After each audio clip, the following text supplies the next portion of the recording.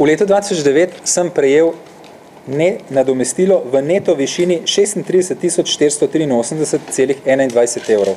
To je denar, ki sem ga dobil na svoj račun. Država je zame plačevala tudi prispevke za socialno zavarovanje, pokojninsko in zdravstveno, v višini 25.279,07 evra. Skupen strošek države z mano je bil torej 61.762,28 evra. To je država plačala za zame v letu 2009. V istem letu sem iz naslova pogodbenega dela, ki mi ga ne bi bilo treba sprejeti, plačal v proračun 21.431,99 evra akontacije dohodnine in na to še poračun v višini 21.553,15 evrov.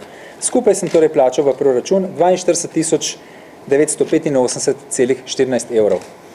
Ta dokončni podatek sem, smo izračunali danes, ker sem se spomnil, da sem v letu 2009 storil nekaj, kar tudi mislim, da naredi veliko državljanov v Sloveniji, namreč na informativni izračun dohodnine sem ugovarjal zaradi premalo odmerjenega davka.